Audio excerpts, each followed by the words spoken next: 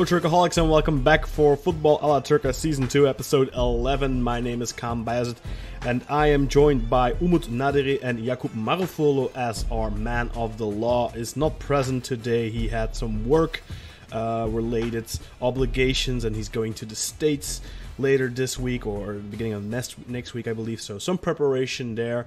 Um, and Özer isn't here either. He was once again on TRT World yesterday.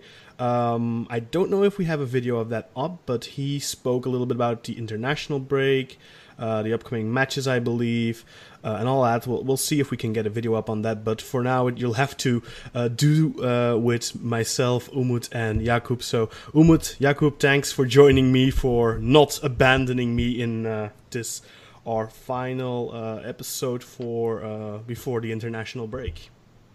Hello there. It's my pleasure.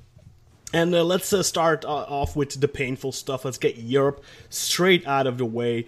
Uh, Real Madrid Galatasaray ended in a very painful 6 0 uh, in the Champions League. Um, nothing really changes for Galatasaray with that, though. It'll still come down to uh, them beating Club Brugge, or yeah, I think that at this point they have to beat Brugge um, due to goal differential.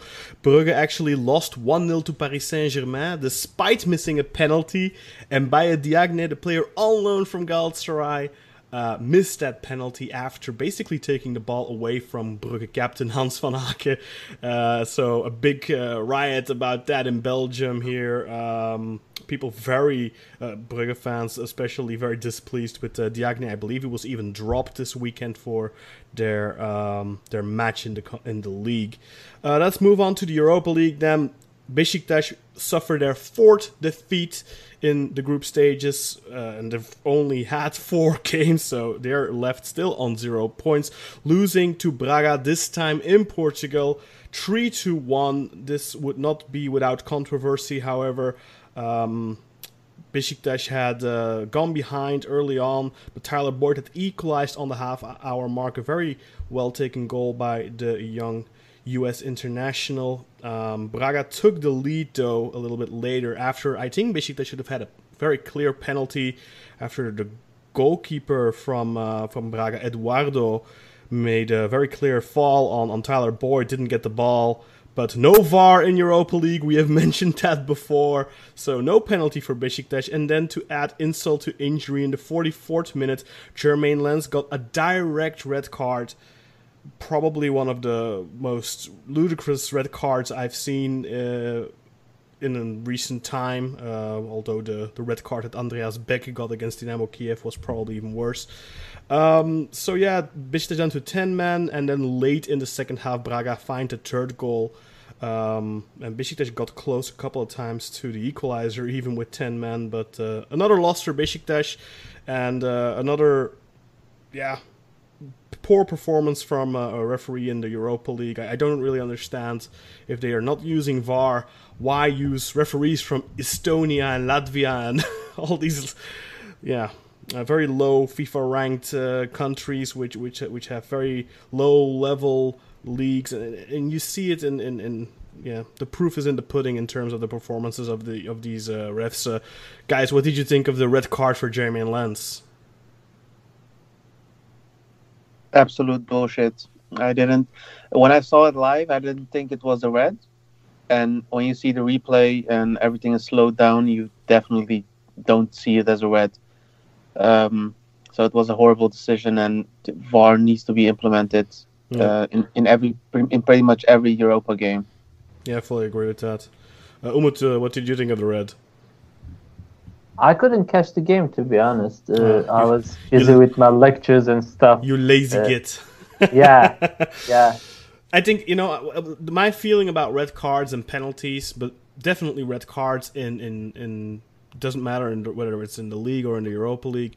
Um, but you know what I mean? If you have that safety net of the of the of VAR, then it's probably even more so. But you need to be one hundred percent sure as a referee before you pull that card and this was i mean i don't know referee clearly was out of position otherwise you don't give this i, I don't really understand it he didn't even. I mean, he he didn't even make contact with the studs or anything. Like he pulled his le- his feet back. He, there, there was no uh, real yeah injury issue. It, it, at best a yellow, at worst a yellow. I don't know how to put that. I think, but even a yellow would have been harsh here. I feel like. And and I watched it right now and feel like the similar kind of red given to Wellington uh, as a tackle to Arda Turan like uh, three weeks or four weeks ago.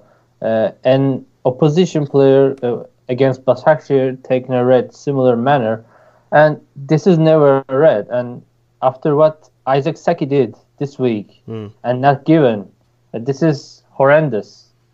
Yeah, but at least uh, we yeah the worst thing is in the Turkish league you even have to have far. So, but here I mean, I, I yeah I, I, find it hard to blame. He even pulled because, his leg.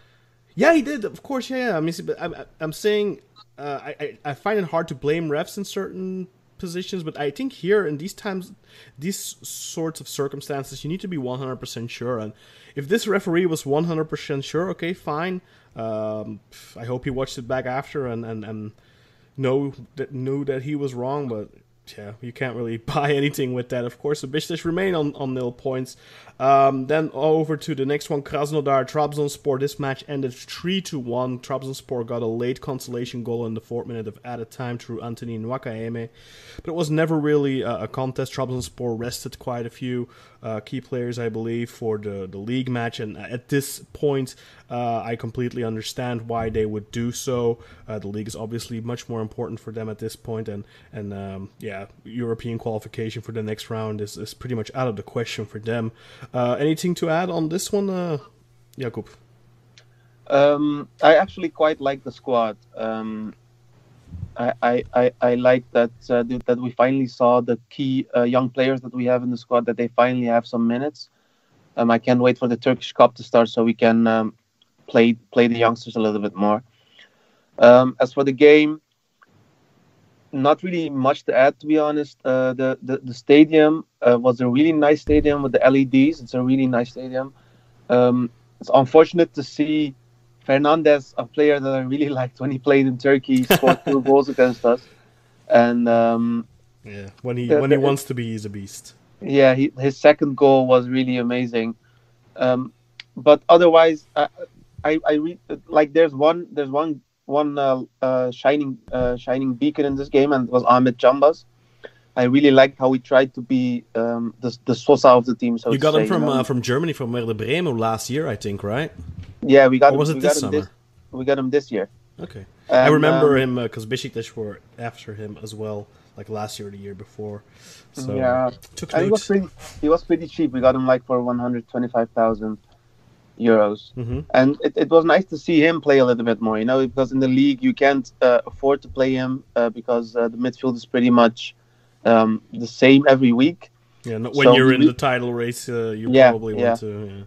and he really showed his worth. You know, he he showed that he can uh, be the player that uh, that that people think of him to be, and um, I really liked Avdijaj this game. I I I do hear a lot uh, from Turkish uh, from Trabzonspor fans that they are pretty much done with him, but he played the he, he pretty much played the best game he, he, he could have played until until now. You know, Mhm. uh, it was pretty much his best game in in a Trabzonspor jersey, and. Um, I'm hearing I'm hearing news about him probably leaving in the in the winter break, and I'm not so sure about that.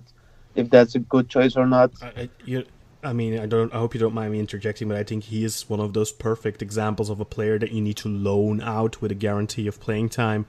Um, I think if you get that guy into into the Netherlands, if you could get him like to a Willem II or something, uh, I think that's the type of player that could really blossom and you could get something out of. I mean, you could. I was just thinking about this earlier, actually, that Bishta should be doing this, like maybe loaning out a guy, for example, like a Cyle Larin, but instead of giving away an option to buy, give these guys uh, like a, a certain stake. The club you're, you're loaning him to give him a, give them a percentual stake in the player's economical rights, like for example five percent, six, seven, eight percent, or something, so that they have motivation to play him. You know what I mean? Um, because obviously if you're going to want to get playing guarantees like Besiktas did with Larin, they have uh, guarantees that they'll play a minimum of 20 matches this season.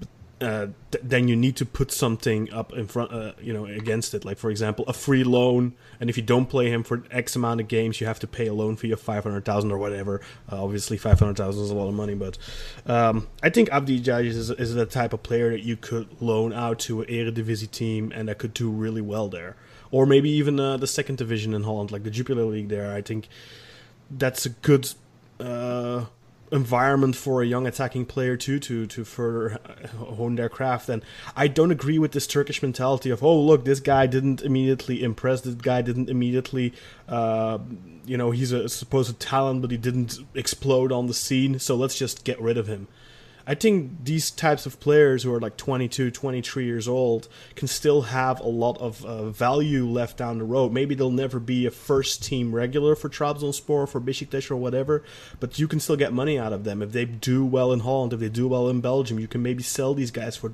two, three, four million rather than, um, you know, having them let go and, and terminating their contract or selling them for a fraction of what you paid or whatever. I mean, you gave you gave uh, Willem II as a, a, as an option. That's the that's the team that let him go in in March because of uh, disciplinary problems. You know. Yeah, it's just and, a, just um, an example, but yeah, no, no. but um, but we got him also on a weird contract. Uh, the first year that he plays with us is is is um yeah how do you say it is uh is, is a normal year, and the the third, the second, third, and the fourth yeah. year are optional years. Mm-hmm. You know, mm-hmm. so he, doesn't even earn a lot. He, he earns like like a quarter of a million a year. So just let him play. Just mm-hmm. keep him on the team. Um, he shows promise, but to get to, to, to, to boot him away like immediately, he's, he's just 24 years old. I don't think should be uh, should be a you know a smart decision. But um, just um, Europa League, um, unfortunate unfortunate game. um, good to see that we actually got a goal. Um, I don't have a lot to say to be honest. I like that Abdurrahim played um, on left back. He seems to um, he seems to be uh, the next one uh, in line, and I think he might be um, steamed ready to play for uh, for the A team. Um, otherwise, not a lot to add. Um, I don't see. Uh, it was a horrible campaign, and I can't wait for it to be to to be to end. To be sure, a horrible campaign that could have gone differently, though, with a couple of you know, um, moments. And I, I feel like that's the same for Besiktas, where they have they're left with zero points, but they could have very easily been on top of the, of this group had stuff gone yeah. a little bit more their way. Uh, and I, I think Trabzonspor maybe not top of the group, but could have definitely been in a better position. The Basel game, especially, you know, that's one they could have, maybe should have won. Um, it's it's yeah details right now that decide these things, and, and with Trabzonspor having uh, a relatively thin roster, um, it's understandable that they're resting some of the key guys, uh, and and that. Yeah, I mean, with the injuries that they also have, we'll get to that a little bit later too it's just yeah, their squad isn't big enough right now. But maybe in the summer, if they have a, if they finish well in the league this season, do well, get some extra money and maybe Champions League money, you never know, then they can uh, add to that squad.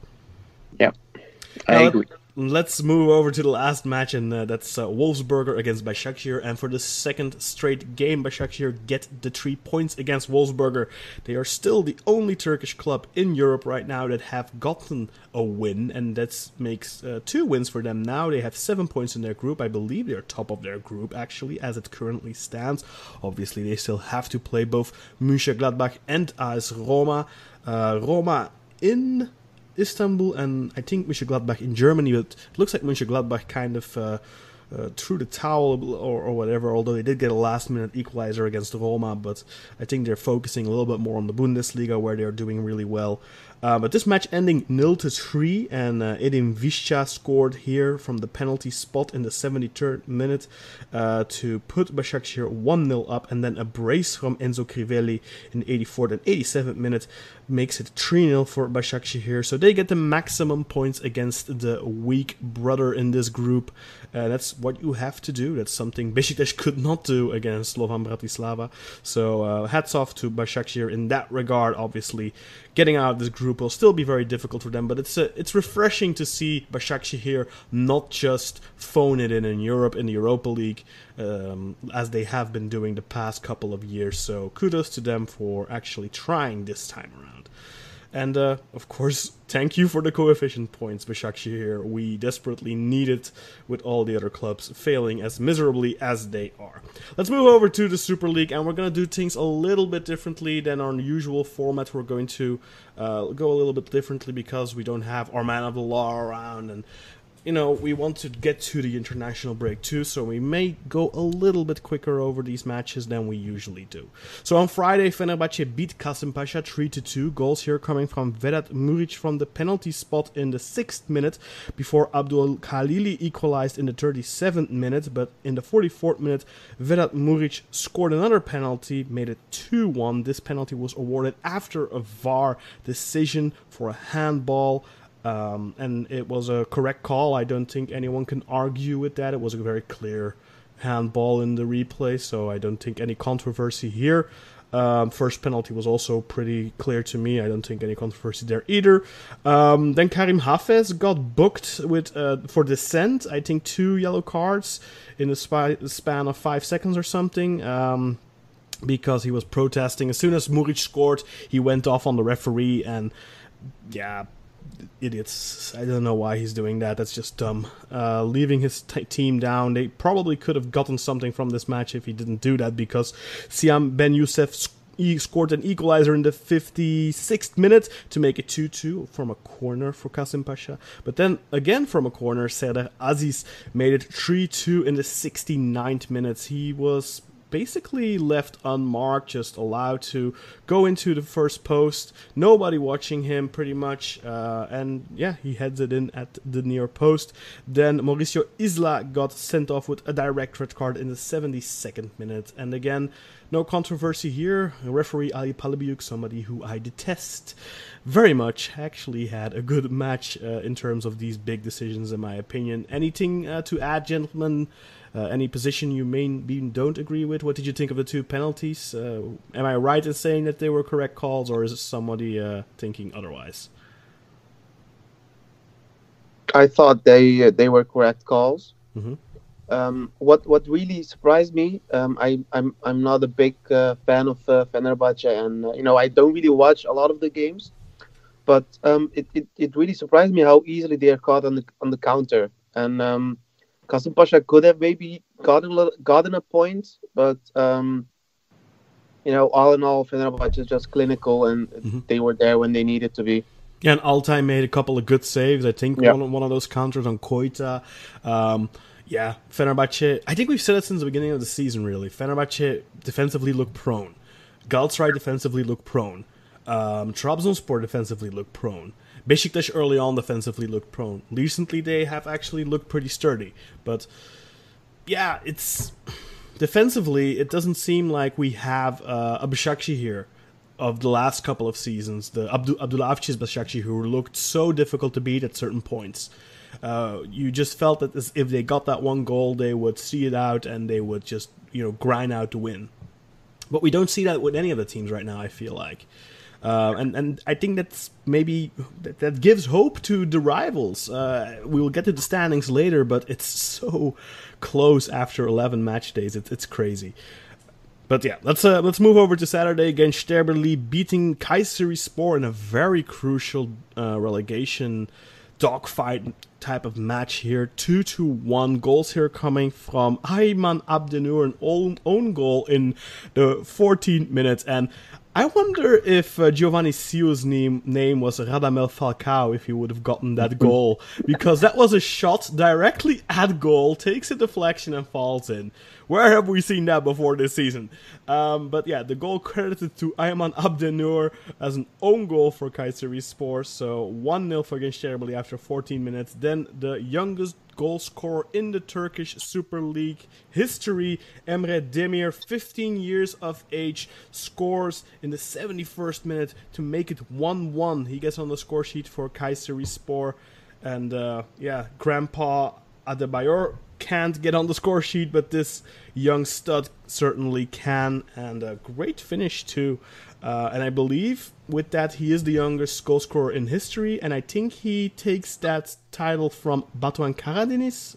No, Enes Ünal. No, no, Enes Oh, Ünal. Enes. Okay, right. Enes was a couple of uh, was a, a couple hundred days younger, but he was 16 like and, three right? months or something. Yeah, He even scored at Galatasaray, if you remember. yeah. Wasn't it a brace? No, he just scored the goal. Hmm. He was just subbed in for the game and Hmm. scored after he was just like 15 minutes on. Okay, well, anyway, uh, Bogdan Stancu then clinches the victory in the 81st minute for Gençlerbirliği after he had missed uh, a very good opportunity, but Silviu Lung had denied him a couple of minutes before that. But Stancu gets the three points for uh, Gençlerbirliği, and that's a very crucial win for them, especially against one of their main rivals for relegation, as we'll get to a little bit later. But Kayserispor are left rock bottom, and against Gençlerbirliği are clawing slowly but surely, getting closer to the edge of uh, the ravine, so to speak. Uh, they're getting closer to safety, but they are still in the relegation zone. Uh, let's move over to the next match, unless either of you have anything to add on our very young goal scorer, Emre Demir. Uh, but I don't think there's anything else really we're talking about here. I Um, think uh, he scored a goal with his left. Is he left-footed? If you have any Well, clue, it, it was with his left foot, yes, but I don't know if But- he's left or right footed. because whenever I hear an Emre, they're always left-footed in the league. Like every one, single one of them. Emre Akbaba, Emre Mor, Emre Kılınç, Emre Emre Aşık was right footed, wasn't he? He's a defender. ah, okay, okay.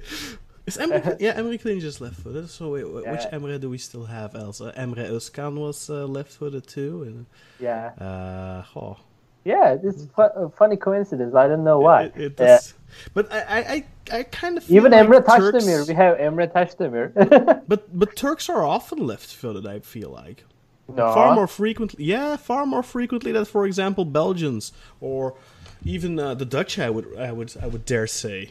I- feel I always find that we have a plethora of choices uh, with left-footed players. Maybe not left backs, but definitely left-footed players. Uh, and also, uh, I would want to tell that Stancu is a great hard worker for Gençler Birliği, and he's been like playing with them ever since he left. I think Orduspor, was it? Uh, Yeah, I think second stop after Galatasaray, right? and I think is kind of resembles uh, uh, Umut Bulut kind of play. Uh. Yeah, but Umut, uh, I think Umut is a better goal scorer. Has proven to be a far better goal scorer than Bogdan Stancu has. Wouldn't you say? But uh, in terms of yeah. sti- style of play, Yakup uh, can also tell me he he played for Trabzonspor for the I, I, I don't really agree. Um, Umut is a player that you like to have on your team because he runs a lot. He, he runs around a lot, but you can really just tear off your. Yeah, Uh, he is. He is stringy. He can he can score twenty goals one season, and then the next season only three goals or something like I mean, that. you could you, you could you could give him like uh, like chances that are like 100% just tap it in, and he Mhm. won't he won't finish those, but, But he that's the same with weird Stancu. ball, you know. and I think Umut's highs in his career have been higher than Stancu's. Yeah, probably. Anyway. The thing is, also Umut scored far more important goals. Like he scored against Juventus, Real Madrid, Late winners too. yeah, Uh, but al- well, this is of course a very important goal for Stancu too. But I mean, uh, Umut. Uh, at, at the end of the day, I think uh, they're both. i think you could uh, describe them as journeyman strikers, really, in the Turkish league. And I think Stancu is definitely somebody who's who's left his mark on Turkish football. Not a, a massive uh, mark or anything like that, but he's been one of those good. Uh, Anadolu team strikers that has done good throughout his career. He was good for Orduspor. He was uh, quite good and for Gençler. has he played? Has he played in this game uh, in for Kayserispor? Sorry, Umut Bulut. Has he played for Kayserispor? in I don't think Umut played. Uh, Adebayor was on the pitch. Uh, I would have to check quickly, but uh, I don't think Umut actually played. Um, Um, He did. He did. he did. Okay, I didn't see him in this match, but usually he's a lot more involved, and he, yeah, th- he didn't He, really uh, he, just he stand out is, to me here. he's usually been put to like side instead of uh, forward uh, these days because uh, and like uh, three days ago I watched a video of Hikmet Karaman giving an interview like doing a Mhm. talk with Uğur Karakullukçu and he was telling that Umut never was a striker Like he's just a Well, I- dynamo. At Trabzon, he was uh, more behind the striker, I think, right? Because He, he was playing behind. Karaman Uh, is telling that Burak? uh, uh, is telling that he uh, was the first uh, guy who trained with Umut Bulut at Ankara Gücü back in at Ankaragücü, he wasn't a striker either. I think he was more Yeah. like a, a center forward type, uh, a little deeper. Um, yeah. Uh, he's claiming that nobody after his Ankara Gücü journey uh, improved Umut Bulut like uh, do a uh, like do some special trainings with him to improve his uh, goal Finishing. scoring, yeah finishing goal scoring abilities and etc because Hikmet Karaman was telling that Umut didn't even know how to head the ball at the time when he was Still doesn't. yeah I knew Yakup was gonna come in there with a snide remark. Yeah, but he has some goals after, eh, like he wasn't even traveled Yeah, as well. yeah, yeah. You can say that. Maybe it's uh, one of those cases where it's a, it's one of those players that really lacks fundamentals. I, I think we have that a lot with Turkish players where Yeah. they probably um, came into professional football too late. Where uh, I, I often he, hear these stories of like, for example, Cenk Gönen. He became a goalkeeper when he was like 16 or 17 or something. It is way too late to to to learn the fundament, fundamentals of goalkeeping, Yeah. and that is that's why Cenk had really good reflexes and could really make some stunning saves. But then he would do this the, the dumbest dumbest things, dumbest mistakes, I think fundamental same mistakes. happens to be the uh, fate for Rüştü Reçber, I think. Yeah, but He to a was a lesser extent, striker I in the earlier times, like in Yeah, yeah, yeah. Yeah, I Yeah. mean, but to a lesser extent, I think he had probably had more all-around talent, and, and maybe uh, he also had the advantage of, of the the times being a little bit different. Still, I think when Cenk was coming into his prime years, much more was expected from a goalkeeper. More footwork was expected when when Rüştü was in his prime. I, you know, we didn't really speak that much of a, of a, of a sweeper keeper, but that that's something in the last decade or so has become very popular and almost it's more your necessary.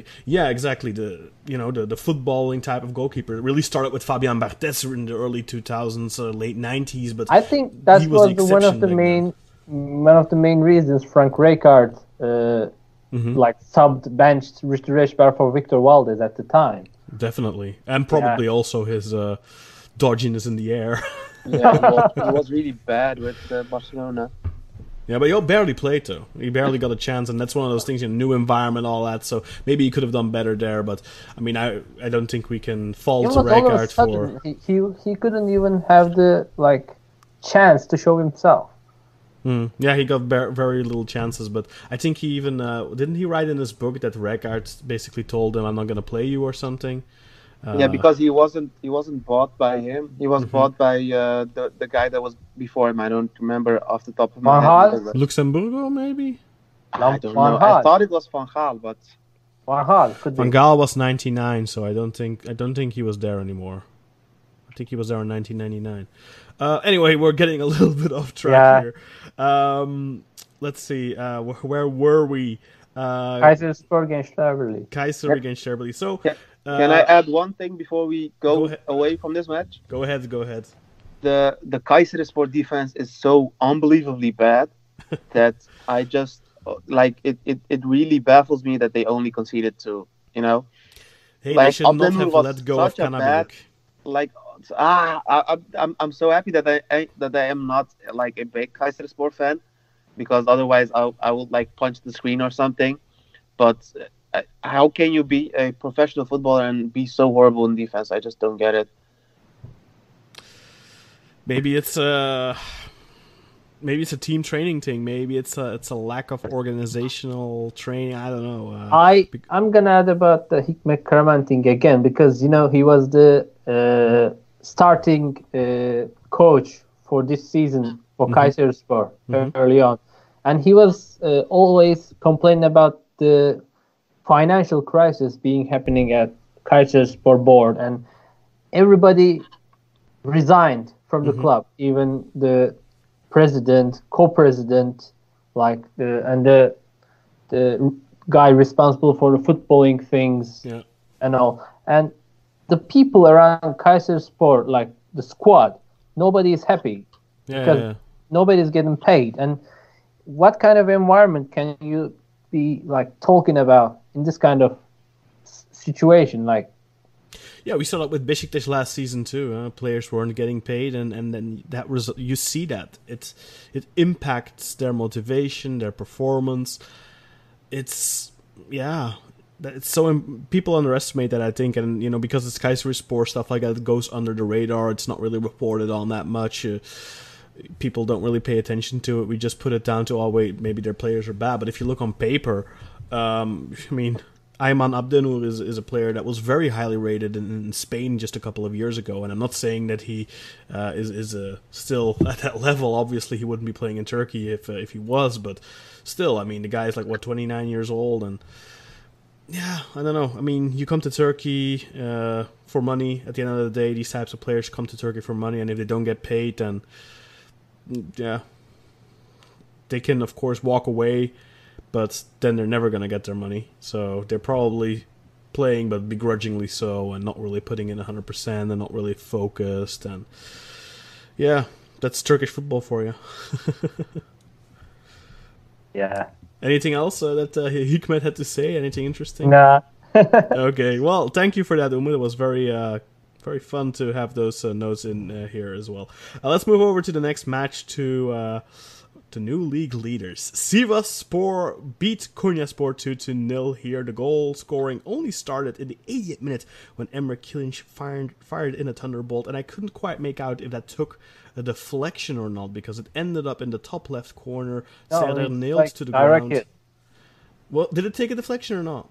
No, no, direct, oh. Like directly into the goal with a swerve. Okay, because I, oh, I'm, I always when when the when the, the commentators go crazy about a long shot, I always want to make sure that it didn't take a deflection because it happens so often that the shot takes a deflection or that it's a shot straight at the goalkeeper in the middle of the goal and they're like, oh, fantastic, fantastic, unbelievable, and it's a shot like straight through the middle. The goalkeeper should have it, and you know they're going out of their out of their uh, minds. Uh, just praising the the goal to the heavens. But if this actually went in straight into the top left corner, then it was indeed a phenomenal goal. And you know, it, it would take that because Serkan was in his element again. Serkan Kırıntılı, he was playing a fantastic match. He made a lot of saves, um, and then he got beaten again nine minutes later by Hakan Arslan. Again, a shot from distance. Serkan Kırıntılı, of course, not the tallest goalkeeper, so maybe that's one of his weaknesses. Those long shots. Although on that first one really nothing he could do. The second one, eh, maybe he could have done a little bit better. I'm not sure, but uh, two long-range efforts from Sivasspor. But at the end of the day, uh, they did create quite a few chances. Serkan made a lot of saves.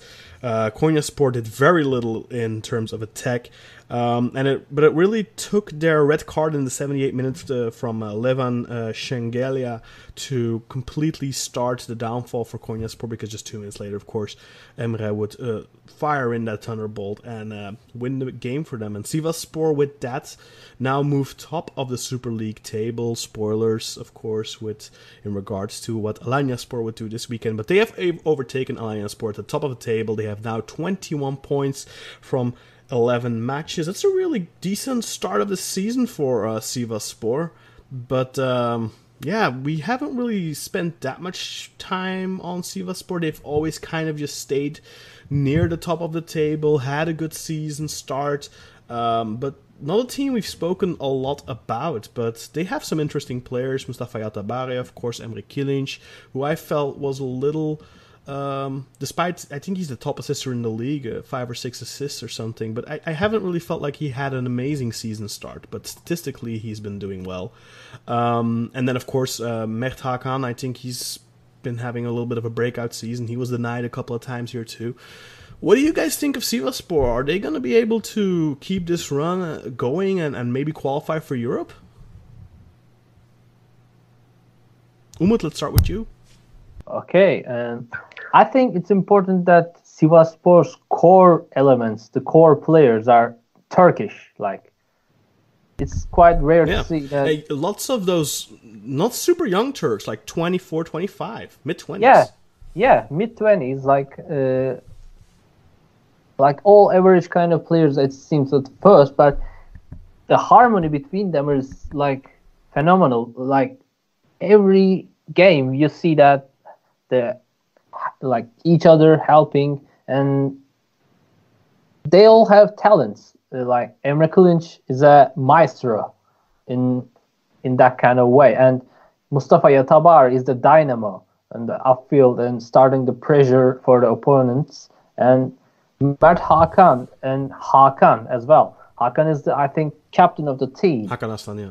Yeah, Hakan Arslan is the captain of the team. And Mert Hakan, like all uh, not so young, but not all definitely, have the stamina to give the pressure for the opponent, and they obviously deliver. Yeah, it's a it's, it's, it's a good team.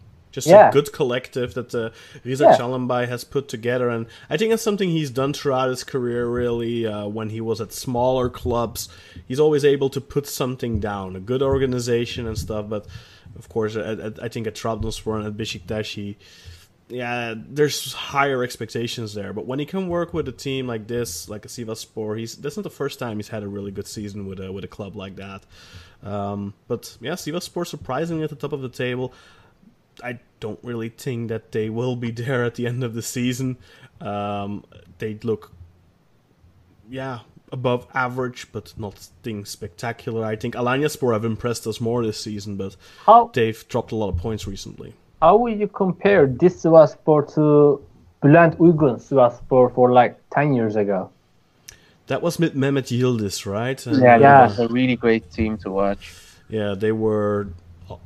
I think at this point in the season back then, they had like 27 or 24 points or something in like 2008. Um, and, and they had like a couple of really good. See, this is not the first time Sivasspor have been doing really well like this. Like they've been uh, doing that since the mid 2000s. I, I seem to recall where they've been like doing quite well early on, and, and then of course in 2008 2009 they were the biggest title challenger uh, next to Besiktas. Um, but I honestly don't know. It's been such a long time. I remember Mehmet Yild- Yildiz from that team, but who else did they have back then? Balili, Uh, Pini Balili. Uh, Musa, Musa Küçük, it was Musa Aydın. It was Musa Aydın. Hayrettin Yerlikaya. uh, Hi- Abdullah- ah, yeah, Hayrettin, he was playing for the national team too. And also at the goalkeeper, Petkovic. Extra Ah, ex Trabzonspor. Yeah. I, I only remember him from uh, from Pierre van Hooydonk. no, no, I remember him before that. he that even too. scored but, a goal uh, from that uh, goal kick, you know? oh. For Trabzon or for, for Petkovic? Sivas? For Sivo, yeah, Sivasspor. He scored a goal in Super League, like a few key, one of the few keepers who scored goal in the Super League. He was also the, like one of those keepers that he could catch like the most insane goals. He, he would catch those. And Mm. like the, the, the stupidest goals you could have conceded, he would concede those. I, I really liked him as a goalkeeper, but so infuriating. I, I, I always liked those uh, early uh, 2000s, those uh, Balkan goalkeepers we had in Turkey. Do you do you remember uh, Miloševski, the Macedonian from Malatyaspor? Yeah, Yeah, he was. uh, Zdravko Zdravko as well. Oh yeah, yeah, with the bald head. I always like Yeah. bald goal. I love bald goalkeepers. They always stand out. Zdravkov, right? you like and- Çatkıç as well? Oh, I loved Omer Çatkıç. You know that man. I Ah, thought he was I great. hate him. I, I loved Omer Çatkıç. I told you about it. I met him once, and he was so nice. Um, he was such a friendly guy uh, with a huge smile on his face. But I have to be careful now what I say because I, I believe Yeah. he is a politically um, yeah. uh, yeah, burnt, uh, so to speak.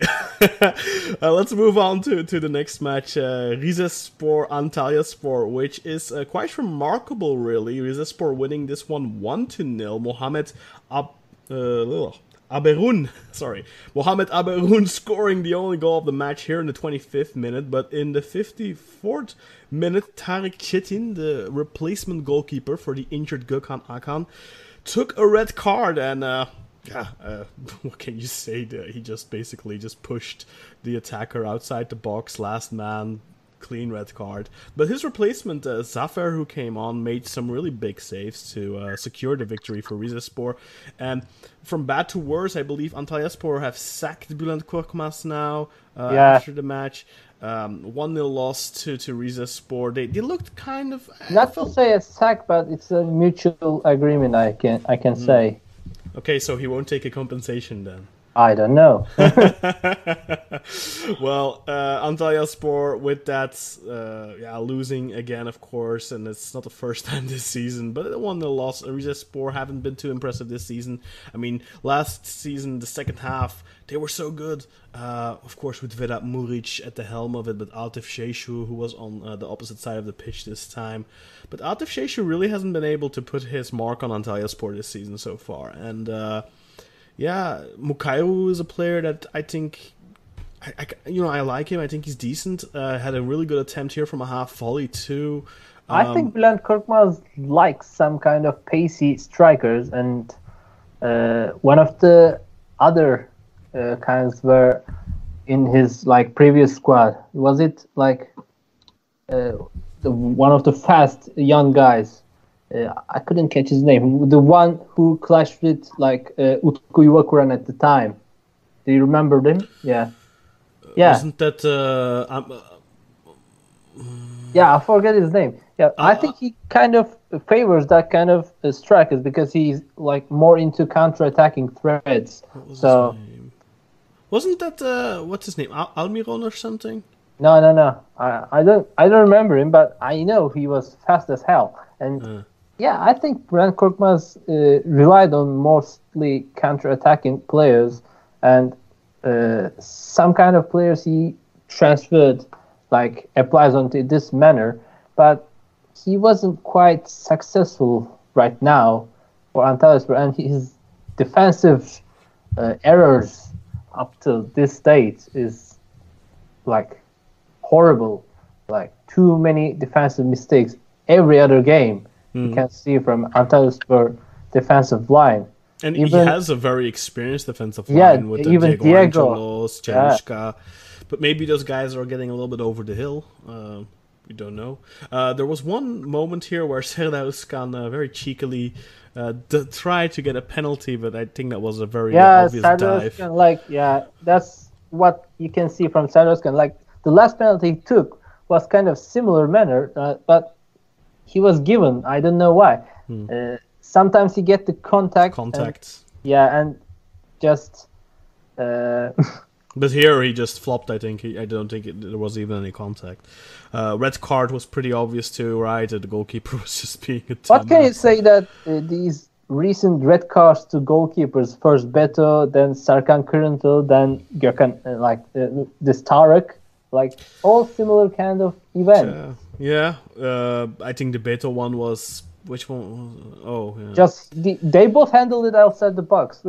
Mm, yeah, Serkan and, and Serkan was really, really weird. yeah, dumb, yeah. uh, it- it was- yeah, what can you say? But this one was, I think it was kind of a oh shh, he got past me. I'm gonna have to give him a stomp here, and it's probably just one of those fraction of a second, split second decisions, and you know maybe a little bit under pressure, uh, being the replacement goalkeeper, uh, not being used to having all that pressure on his shoulders because he hasn't gotten a lot but of. Uh, the third keeper act like performed brilliantly afterwards. Like, mhm. yeah, Yeah, yeah, definitely. I think Tarek won't be getting uh, any Yeah, playing minutes. I Uh, can check that he made six saves under his name. Zafer Görgen, Mhm. 19-year-old reserve goalkeeper for uh, Rizespor, and I great think we'll be seeing him. We'll be seeing him more. yeah, I mean, depending on how long Gökhan is out, I'm not sure how long he's out for, but he was also removed from the national team squad, of course. Altay uh, Bayındır replaced him, Fenerbahce's goalkeeper, of course, uh, but we'll get to that, to that a little bit later. Um, anything to add, gentlemen, to uh, the Rizespor uh, Antalya Spor match? Um, yeah, it, it, it, it uh, the, the the only big thing that annoys me is the fucking angle of the camera in the stadium. I don't know. I don't know how it how the I think it's because the, so the low. stadium is low. Yeah, but that's because the stadium isn't very high. I think. Yeah, Yeah, yeah, yeah. Same applies to Alanya Sports Stadium as well.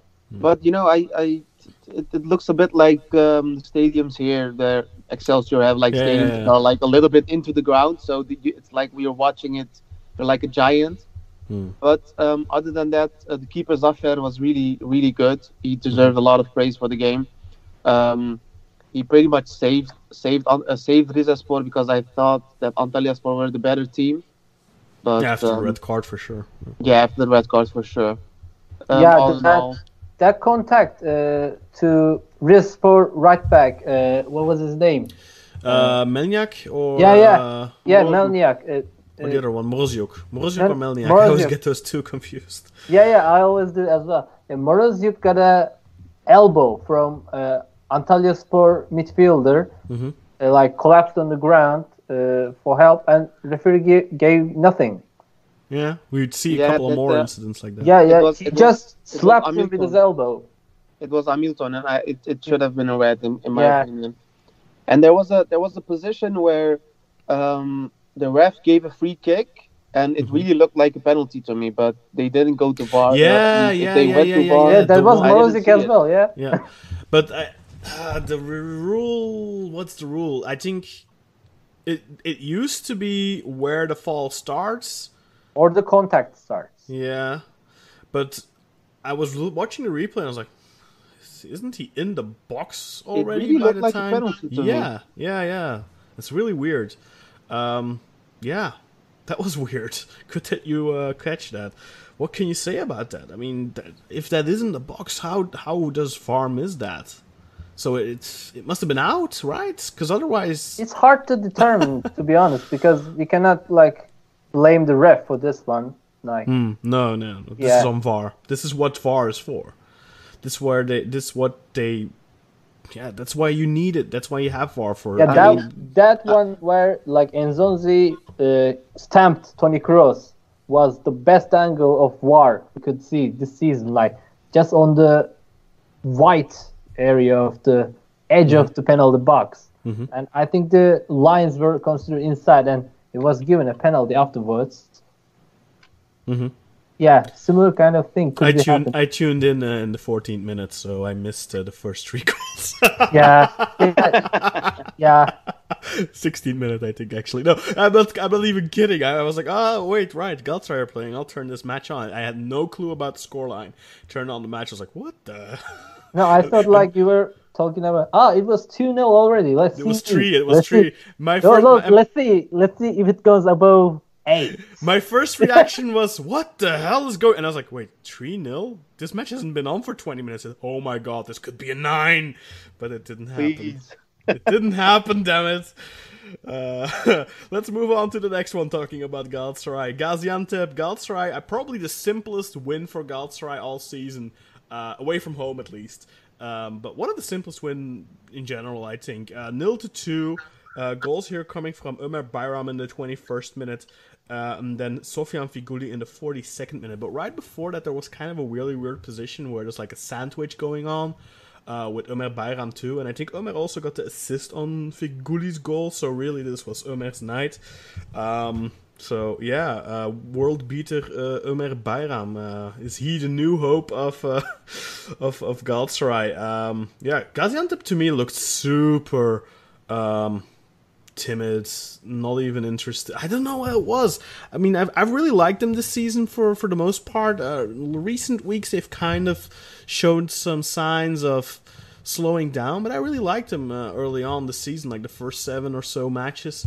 Uh, they looked really dangerous. They had to have a lot of quick guys up top, uh, very offensive team, and I saw nothing of that in this match. Like they, Yeah, they didn't even look interested. I can tell about because uh, Marius Șumudică uh, plays three five two uh, during his games and like relies on counter-attacking threads, uh, fast players upwards. And this game, Galatasaray also played three five two, and he just uh, Terim he just uh, blocked the path of the counter-attacking threads by Did Fatih Terim tactically outclass an op- opposition uh, coach? Is that what you're saying, Umut? Yes, I, I think. no, no, no. The thing is, Yeah, uh, he just closed the path of like attackers, like Mm-hmm. with three, uh, three big guys, uh, like Ahmed, Marcão, and Luyindama. It was and a very interesting lineup with five or six defenders. Uh, Ahmed Çalık was playing, yeah, so that was very interesting. You, so you No, no, think no. that he, just pushed the uh, uh, flanks upwards Mm-hmm. uh, as uh, like wing backs, but more like uh, wing players. Uh, they didn't just uh, come back during the game, and uh, also Emre Taşdemir made an assist out of it. was it Emre? I thought it was Ömer No, that uh, got the assist. no, no, no. Ömer uh, passed for the assist. Oh, okay. So He the pre-assist. yeah, pre-assist. He made the position. Yeah, yeah, yeah. But Ömer, he's been one of the bright spots this season for Galatasaray, and and who Yeah. would have thought that uh, that that he would be one of the highlights so far in the season for for Galatasaray? Kind of, like, is that maybe a sign of poverty, Protect- so to speak? What? But but a w- big highlight sign of poverty, you know, that you have to look towards Ömer Bayram to lift the team up. Um, but uh, one big But he's thing, been playing good. But I Yeah, cannot yeah. say that. Yeah, we can rely on him because he's one of the dynamic and eager players who wants to win the game instead of those uh, just all these playing. Yeah, Adem Büyük also started this match, Yeah, I yeah. believe. yeah, yeah, Uh, I really liked his efforts as well. Uh, but Adam, unfortunately, we lost uh, Florian Andone for Yeah. two and a half months uh, during the game Yeah. after his uh, one of the knee things going bad uh, on his right knee, uh, Mm-hmm. and he's been out for three and a half months. Two and a half, though, the- right? Yeah, Well, we'll have to wait and see. Uh, but then the question is, of course, uh, what's the deal with Radamel Falcao? Is he going to be fit after the international break? Otherwise, Galatasaray are without a striker, and we'll probably be seeing uh, Ryan Babel in that position. if we're gonna continue playing 3-5-2, we're gonna see Adam and Babel up front, I believe, uh, and just Feghouli behind them. And mm-hmm. this game, Feghouli didn't play as a winger, but a number 10, more kind of like maestro behind the two. Because And Belhanda was out too for this match. I don't know why he kept Belhanda out, but He I- was injured, I believe. He got injured. yeah, yeah, yeah, I think so. And Feghouli actually played really well in the central position because he's like old for a winger kind of position right now, and he couldn't run for his life because he's just slow. He's like 29 or 30 years old. yeah, but he's just so slow and couldn't catch the ball when it's like uh, passed into him, and he just uh, because of that he just wants the ball to his feet uh, instead of running uh, behind the defenses. Okay. that, yeah, that affects Um, our play really bad. And, uh, and any other uh, things you take away from this win? Uh, do you think this is the start of the turnaround for Galatasaray this season, or uh, is it going to Yeah, be? yeah, yeah. It's uh, we couldn't say it's a, a bad, uh, like a good win because we can't say that uh, we're gonna judge the team based on this game only because Gaziantep is a bad team as we've seen from the game. I don't really agree with that, though. I really have liked Gaziantep in like seven games already this season. So to say that they're a bad team, I, I don't agree with that. but didn't show pretty much in this game and no, in this in this match they didn't. They did. They never really perform, and, and we saw the same thing against Fenerbahce early on in the first match of the season. But you know they were like two or three nil down after twenty minutes, so that takes a team out of it. But uh, so that's those are kind of understandable. Here, though, I mean, I, I really expected more from them, uh, given from what I've seen from them already this can- season. if we can state anything for this game, we saw that uh, the bench players who are eager done pretty good for the game. And But but the weird thing is usually, especially in home games, the players from clubs like Gaziantep, like Konya, like whatever, they're really hungry to show themselves against the Besiktas, Fenerbahce, Galatasaray, Trabzonspor, especially in these home matches. And I didn't see any of that in this match. Like uh, Twumasi wasn't involved at all. Uh, Kayode had like one. Kayode just was Kayode again. And like uh, we've I only known the- him for a couple of months, but he's such a such a dumbass. Like trying yeah, to yeah, I think the best player for Gaziantep this game was Djilobodji, uh, Yeah. the Well, he's midfielder. Been consistent. I think he's left-footed, and I I've seen him delivering too many good long passes and like Mm-hmm. changing the play side over and over. And that's a great thing for a player. But uh, the thing with Galatasaray is like making the team, the starting lineup, younger than ever. Uh, like benefit the team in a good way. With a uh, also help the olders Mhm. that But to talk a little bit about that, uh, Umut, we saw this uh, midweek, of course, the senior team losing to Real Madrid, but the the the, the young team in the in the UEFA Youth League, they actually won away at Real Madrid, and uh, Yunus Akgun, I believe his name is, uh, the young talent for the Galatasaray has he scored a goal in that match too. And why aren't these guys getting any chances? I don't know because I think Terim doesn't believe that they're ready anymore. Like, yeah, I know that it was Terim that brought them to the team. Uh, like he individually uh, seen them and uh, transferred them each uh, at a single time, and he's been training uh, with them ever since. But I don't know why the hell Terim does not give them a chance. Uh, maybe they're like not really physically or I don't know mentally. But if there's no Belhanda, we could be playing with Atalay. But in a match like this, where you're 2 0 up at halftime, where your opponent really doesn't look all that interested in getting back into the match anyway, why don't you just let a Yunus Akgun play the last 30 minutes or something? Uh, I think this is the one of the things that Antep is a like a rough team and like they play dirty. Uh, yeah, because I, we've seen that. Is that uh, an excuse not to play uh, yeah, but a like, young player? yeah, he shouldn't even played them too much earlier, like a year ago, like so that they would be ready for this time. Yeah. Uh, anything else uh, to add? Yakup, maybe uh, any notes on uh, this match? Um, yeah, not not a lot. Um, I thought it was really weird to see the stand so empty. You know, uh, for for a for a team like Gaziantep to play against one of the biggest teams in Turkey and have the stands be so empty. It, it was kind of weird because normally when uh, when a big four team goes uh, goes uh, to a away game, the stands are full to see the players. Mm-hmm. But um, yeah, that was that was really weird to me. And um, yeah, for the for, for the rest, you you guys pretty much summed it up. I really like Feghouli in this match. He could have had an hat trick, but uh, like once he hit the post and uh, once he was unfortunate and couldn't hit the ball or something, I thought. Um, otherwise, yeah, not not too much to add. Um, it's weird to see uh, Galatasaray play with you know um, they they don't have you know bad players, but uh, but if you look at the at the starting squad, you think like it, it isn't correct, you know, because if you if you think about the players that they have and you have you know Emre Büyük in, in, as a forward and you know the the, the, the layout seems so wrong, but Mhm. they are all you know good players and having players like uh, Seri on the bank uh, on the uh, um, as as a sub, you know, and Zonzi as a sub. You know, it, it's really weird to see. It's it's nice for them to um, to make their minutes and um, you know get um, get the three points, but it's really weird to see a team like Galatasaray go through a rough patch after you know all the all the all the fanfare you know in the start of the season with uh, with all the players that they got. But only two points behind the leaders, so. Yeah, the, the the you know you can't say you can't say a lot because the league this year is really really great. I really love it, and I I like that uh, the point difference between like the first and the fifth or something is like two points. So they you know I don't know if it's if it's because they are doing bad or everything everybody is doing bad or everybody is good. you know, yeah, it's. but Uh, it's um.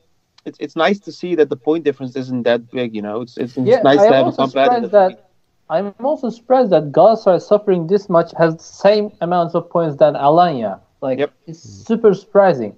Hmm.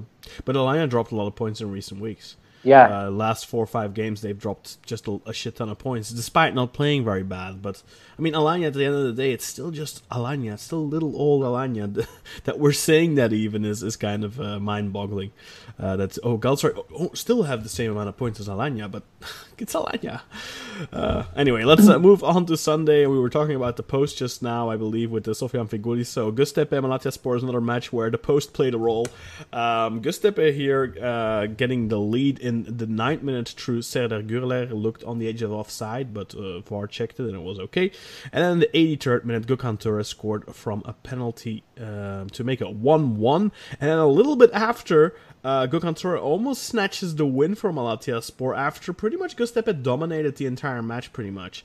Um, but Gökhan almost snatches the win, hits both bars, and uh, then I believe the goalkeeper saves it. So yeah, um, Göztepe probably kicking themselves not to get three points here, but at the end they are probably happy that they didn't lose because uh, Malatya almost snatched it towards the end of the match here. Um, yeah, Göztepe they're doing okay now, right? I mean, they're kind of nestled themselves a little bit in the middle of the table. Um, I believe they're on 13 points now. Uh, so Yeah. it's, a, it's, like three points above the relegation zone for the moment. But again, here a match at home, not really home, but still, uh, that they should have really won. I think based on the amount of chances that either team had. Yeah, Cameron Um, Jerome missed too many sitters. Mm-hmm. mm-hmm. Um, yeah, and uh, F- Faunold played a good game again for Malatya Sport, but Malatya defensively not looking too shabby here. Uh, like they kind of that's also been their weakness throughout the season. I feel like they're a, decent offensive team, one of the highest scoring teams in the league, uh, but defensively they're just very prone. And I don't know that's down to just the quality of the players at the back. I do think that they do lack some quality there, or if it's maybe down to also the, the, the tactical organization of the coach, what type of football he tries to play, and maybe he just you know for the football he wants to play, he needs a little bit better quality at the back. Because if you look at what he has uh, in his, his back positions, uh, I think I talked about earlier this season, Erkan Ka- Kash, um, not exactly a, a great player. And then on the other side, he has uh, what's the, the guy's name? He's, he's super bad. Um, The the African guy. no, I, I think he's maybe Moroccan or something. Yeah, yeah, I, I get it. Uh, the captain. Shebaki. Oh Shabak, yeah, yeah, Ch- yeah, Ch- Shabak. Chab- Chabak, yeah, he's Yeah. so bad. he's so bad. Yeah. Oh, I got so annoyed by him in the Europa League. Oh, his crosses. But maybe that's just me. It, it was like shades of Roberto Hilbert for me, where every single cross was just so bad. uh, I, you know, and everyone that I, all my friends were British fans. They're like, "Oh, Hilbert, I loved Hilbert," and I was like, "Oh no, I hated him." I mean, I don't hate him, but I hated, you know, the type of player he was. Like every He single wasn't cross. even a right back at the time for Well, like When he when he broke Beginning. through at, at Stuttgart, he was a right winger, and yeah uh, yeah. Then uh, I think it was Arturo Sağlam who Mm-hmm. I think changed so. Yeah. Oh, Yeah. was it was it Ertugrul? Wait, no, he came in in 2010, so that wasn't Ertugrul Sağlam. So it was uh, Carvalhal. Must have been Schuster. No, must Carvalhal? have been Schuster. Bernd Schuster. Bernd Schuster. Okay.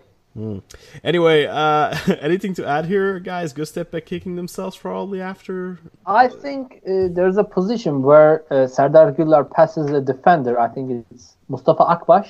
Uh, And then after being passed by Serdar Gürler, Mustafa Akbaş just lays himself into the ground and just referee gives the Malatya Sport a free kick. And I hate this kind of Turkish football mentality because there's nothing Sardar could have done to the defender uh, after passing him because he has nothing to do with him. He just passed him and he's in front of goal. But the defender just uh, lays on the ground and begging for a foul call, and he gets it. And I hate it. Like this is the thing that like uh, decreases the quality of the game in Turkish football because Yeah, you don't I- want to I- see these. I remember. I don't remember which game it was, but Ersan used to do that when he was a Besiktas. Like he like a little bit of contact from the striker, and he'd lay down, and then you expect to get the. Fr- this is a different position. Of You course, you you, you remember that uh, kind of Serdar Kurtuluş position with Bruma, which uh, Bruma assisted the goal to Drogba. I remember the goal, but I don't remember. Yeah, yeah, that was the uh, Serdar Kurtuluş at the right back, uh, like shielding the ball for uh, Bruma, and then Bruma got the ball, and Serdar was on the ground like begging for a foul call, but Bruma just passed it to Drogba for a goal, and at the time, and You know, I, I, get, I get it if you lose the ball as a defender that you're gonna try that to maybe get the call. But what I, I don't get it when you're as a defender, like with, with the the Ersan position I'm thinking of, he was like he was getting the ball, and then he feels like a little bit of contact, and he goes down, thinking, "Oh, the referee's gonna give this," and then the ref didn't, and the guy goes on and scores. Also, one of the main things I can say is that before uh, Malatya's penalty call, like it was seven players uh, like shouting around the referee and just left the game, left playing the game, and just around. It was on play. The ball is on play. Just And what did keep you think going. about what did you think about that penalty, by the way? Yeah, it was too close. I mean, uh, Mm-hmm. yeah, I know he's not in a natural position, but there's no chance he will avoid it. Like, Mm. yeah, I know it hit it onto his hands, Yeah. but the ball was not even going to the goal. Yeah, I think it was really harsh. I don't know what you think, Yakup, but I was watching it and I was like, ah, this. I, mean, I I guess the new rules you have to give it, but for me that wasn't it- really a pen. For it me, clearly yeah. clearly hit his arm, but as as as Umut says, it doesn't really go to the goal. But I he heads if you it can- down. Yeah, I don't know if you can judge it that way. You know, when it's hap- when it's happening in the box. yeah, No. after seeing what referee didn't give in Premier League after the ball hitting twice the Trent Arnold hand in a Man City game against Liverpool, Hmm. I think this can be in the same case. Uh, this can be seen in the same case. Uh, but Yeah. I hate when players like shouting and uh, begging for a call for their side at yeah. the game when Keep the ball is playing in and play. let VAR deal with it. Yeah, but the thing is, the thing is though, if you don't, I have that the impression this season. If you don't shout and make a big fuss, they don't even look at shit. Yeah. I really mean, have that feeling. I mean, I get it from both sides. I get that. Uh, I agree with Umut and I agree with you that you know the play is the play is still going on. So don't just you know hound the ref and try to you know just scream for a penalty. But, But- you also be- but you also see that when you don't do that, uh, the ref is like, ah, okay, just just keeps going. You know. Mhm. Yeah, okay, but you you ask for it, but not with the eight players. Yeah, yeah. Yeah, Yeah, yeah, That- but that- uh, I wouldn't be even sad. It should just they- be the if one they guy like Sergio Aguero running after the goal. No, Yeah, no, I no. call it- I wouldn't be even sad, remotely sad, after they concede a goal when the s- Hmm. seven or eight players covering the referee and nobody defend the ball afterwards. Hmm. yeah. Yeah, I call it the Barcelona tactic because Barcelona does that with like every foul and every yellow card, red card, everything. But Ooh, we, you know, we have, a, we have a Real Madrid fanboy here. no, no, no. I'm a, I'm a Barca fan, but I know Okay. that they are you know annoying with that. I But think should, they should be fined. it's because they're all tiny guys, so they have to do that. I don't know about being fined, but I do also agree with Burak. You know, um, with Burak. I'm sorry. Um, I do agree that just let it go to VAR and Mm-hmm. um, just just let it go to VAR. You know, the VAR is always there and should should say something You, about you it. think that's right, but so so often uh, it's like, ah, you know. Again, I'm a huge proponent of VAR, but sometimes I wonder what the hell those guys in that, that VAR room are doing. Are they like going to the toilet for a quick? Are they having like a massive dump or something? All at the same shisha. time. There's supposed to be like four or five guys in there, and uh, I don't know, man. I I don't know. if the blind We'll talk about blind. it in Besiktas game. When Yeah, we're we, about. we will. Uh, let's move on to the next one. Trabzonspor Alanyaspor. So a really big, important match here. And uh, it, it was, I think, a huge win for Trabzonspor, given the circumstances, especially. Trabzonspor here getting a red card after 25 minutes for Abdul Kadir Parmak. Uh, I think it was the correct call. He kind of slides through, but we've seen stuff in recent weeks that's very similar that didn't get red cards. I think consistency is important. Um, but at the end of the day, I think it was a correct call for for that. Uh, then uh, the penalty, the first one in the 70, uh, the 67th minute, uh, converted by uh, Majid Hosseini. I think it was also for uh, a handball, right? Yeah. Uh, very kind of similar to the one in the Malatya match, but maybe a little bit more uh, evidence. But then Trabzon got another penalty um, in the 81st minute, I would want to say, because Junior Fernandez got a red card, and that one I really didn't understand. Yeah, Uh, neither. that was a really weird I one. think he clapped the ref. No, no, no. Yeah, yeah, he- the, the red he- card, but the penalty. I mean, the penalty was seemed super soft. I think he had like a hand on the guy's back, but No, I've he- Yeah, yeah, yeah, yeah. he, That's like, one hit him- controversial one. he like hit him uh, on, on the face, but it did. It really Mm. didn't look that bad. You know, it didn't look like um like that should have been a penalty. You know, Yeah. Uh, in my opinion, that shouldn't that shouldn't have been a penalty. I remember a, a position early in the season for Besiktas, I think against uh, maybe Sivasspor, the match we lost 3 0 or something, where there was like this really obvious push in the back. No, it might have been last season actually. Uh, on, on I think it was on Isimat Mirin where he just got pushed on a corner like an actual proper push and didn't even go to VAR. And this one this one just looked a little weird. Uh, so it's like the consistency needs to be there. Um, but the thing is, Trabzonspor sweating basically throughout Also- this match. Uh, yeah, very hard. position for Ceyhun Gülselam being like handled, strangled by the opposition. Yeah, yeah, Who's yeah. By what- uh, number 22, uh, Yakup. I'm sorry. Who's the Uh, Trabzonspor number 22? was it? Um, it should be Campi.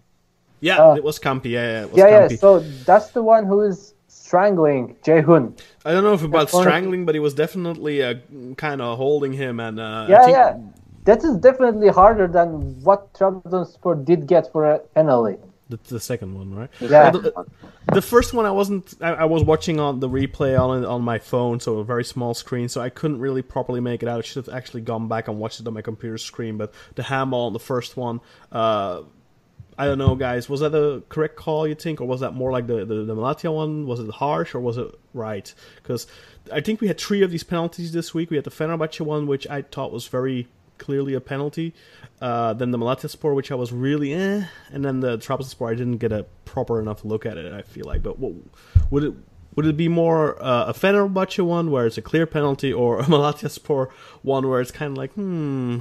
In my opinion, it was a clear penalty because the defender is really like um his his, his arm is like in a in a in a like 75 degree angle in front of him. you know? Djalma Campos. Yeah, so it, it, it was a penalty because his arm was in a really weird position and um, yeah, he got the ball got hit by his arm.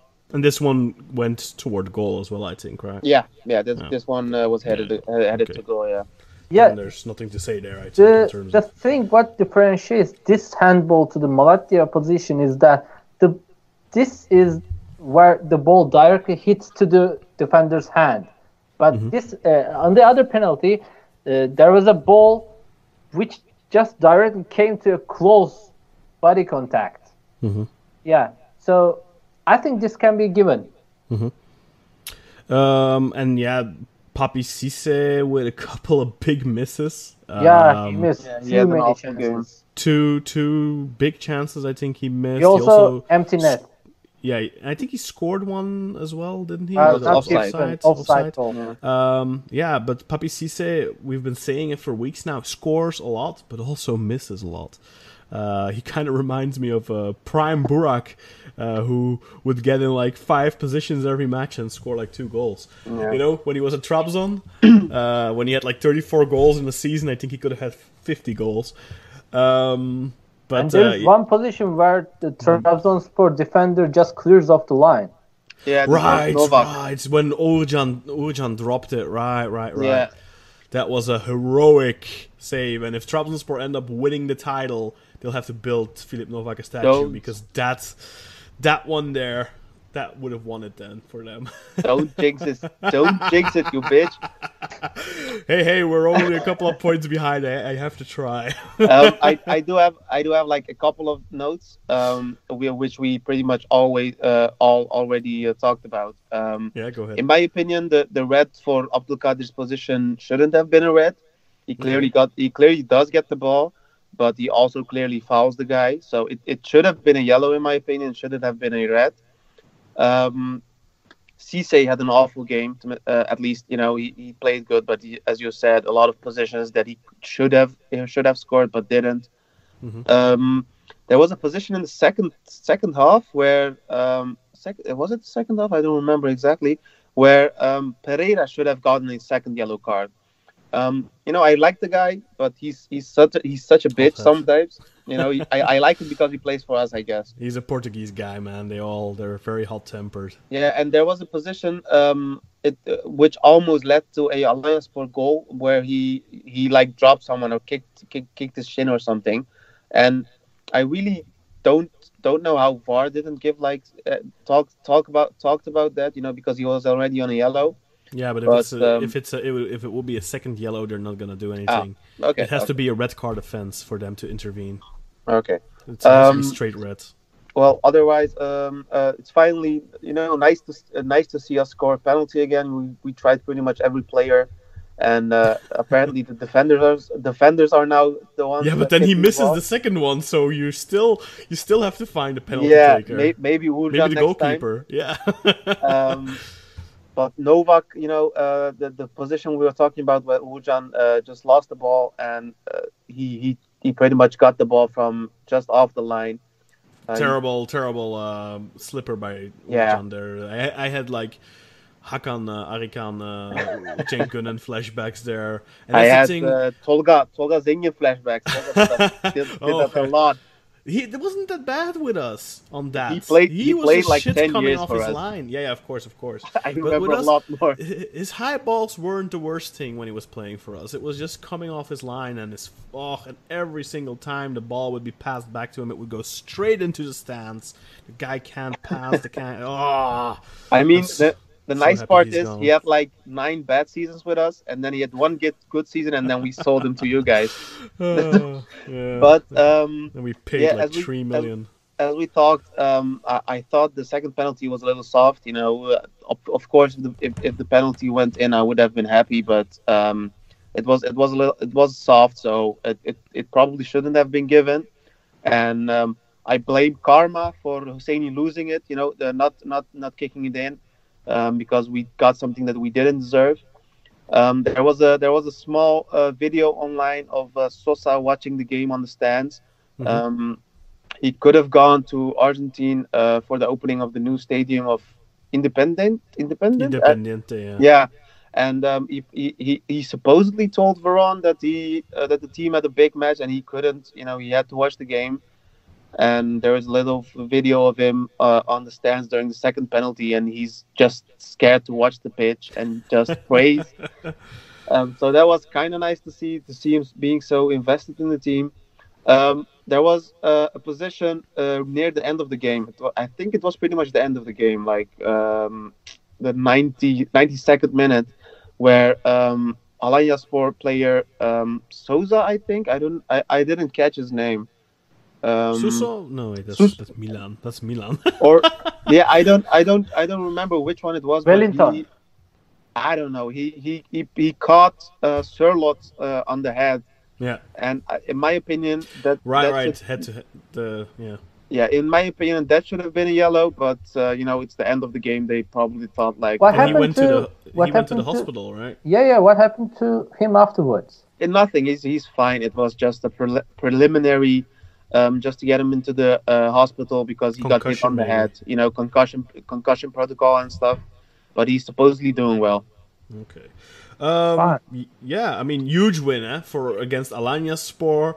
Um, not to be underestimated, uh, and especially given the circumstances of the match. Tw- I do think it was a correct call to red, but I also think there's a uh, an error inconsistency. The reason I feel it's a correct call is because he, his, he's got a lifted boot and he kind of he shoots up. And I said it a couple of weeks ago with I think Vedat Muriqi, where I think he should have probably gotten a red card against uh, oh, who was that? I don't know, like three games ago or something, where a similar position where he he his leg kind of shoots uh, up and uh, makes contact with the studs above the ankle. Uh, so I, I I understand this as a red. Um, but we've seen other stuff recently that didn't get given. Um, in the it feels like we speak about these positions every week, where we just see a yellow card or nothing even at all. Um, so I think there needs to be a very clear meeting between all the referees, uh, since all these these old well, refs are getting uh, fired apparently recently. It's like uh, Yeah. the one after the other. There's a, a new generation of referees coming in. They need to be on the same line and they need to be a little bit more consistent. You can't give reds for this one week and then the next week not even give a yellow card for it, or even like on the same match day for a similar position. So there needs to be more consistency in, in what you determine as a red card offense. And I mean, uh, it was definitely not uh, malevolent intent. There was no malice in the tackle, but it was a reckless challenge. So I understand, I mean, but I would have also understood a yellow. Yeah, let me. Let me, uh, I, I I just wanted to say, like, um, in my opinion, it was a yellow, but uh, I I do agree with people that think that it's a red. I I can I can't see where you're coming from. Let let me put it like that. You know, so I'm not saying that I thought I think it's yellow and red is uh, the wrong decision. Um, you know, but I I can understand why people think it's a yellow, and I can understand why people think it's a red. I've seen worse things that yeah. didn't get red. Yeah. So yeah. Um, let's move over to the next match then. Başakşehir Ankara This one ending two to one. Enzo Crivelli scoring a brace for Başakşehir here in the 10th minute and in the 77th minute. Both of them were really tap-ins. Uh, the first one uh, provided to him by uh, Junior Caiçara, and then the second one by Edin Visca. Both were crosses from the right hand side, and both, I believe, he tapped in at the far post. Um, but Crivelli scored quite a few of those goals this season. He's always in the right position, uh, and it's not like that's all he does. He works hard, he combines well with other players. Uh, this is his seventh league goal. Um, but he's also scored two in Europe, of course, this week. So he's got nine goals in 14 appearances for Başakşehir already. Aydin Karabulut gets a consolation goal for Ankaragücü in the 87th minute. And then uh, there's two more chances or so for Ankaragücü towards the end where they could have maybe gotten a point. But at the end of the day, uh, Başakşehir, uh, again, with a deserved victory. And despite a very poor start of the season, with their first five matches really not going their way, they have really. Um, yeah, picked up the pace. Okan Buruk has righted the ship, has put the train back on tracks, whatever, however you want to say it. But Başakşehir are going strong right now, and they're maybe the most consistent team in uh, the top of the table right now. Uh, we've seen everyone else slip up in recent weeks. Uh, not counting well Besiktas count including Besiktas because they slipped up against Ankara because you couldn't get the win there uh, a team that they should always be beating. So uh, Başakşehir one of the few teams that isn't really slipping up. Uh, yes they have dropped points but was against uh, Alanyaspor it was against Trabzonspor so that's okay I think. Um, but Başakşehir get a win. Crivelli on fire. I know Umut you're quite a fan of Crivelli already uh, do you think that's uh, the type of striker maybe Galatasaray should be going after instead? I don't know. Maybe he's just uh, shining on the system that Başakşehir mm-hmm. has right now. But mm-hmm. I really like his play style because he's more like a helpful and supporter kind of uh, striker uh, rather than just directly like score Umut Bulut, but score, but more capable of converting consistently. No, no, no, no, not kind of Umut Bulut kind of player, but he just like like he's just smart out there mm. like yeah, knows where to yeah makes good runs Loses, makes man. sure to have a position inside the box and he has decent feet as well uh, the remember the goal uh, in the first i think it was first week yeah the the goal Mert assisted uh, it was against Fenerbahce uh, mm-hmm. yeah yeah yeah that was a really good yeah goal. yeah he just passed Jailson there with with a cool manner, with quick feet, and he has decent feet, and he just quickly thinks about and knows his surroundings really well, and just supports their players and gives some passes to uh, make them like put them into into kind of opportunities in front of goal rather than scoring. Because I don't think he's primarily thinking about his priority is like goal scoring, but he just provides too many chances to his teammates up front.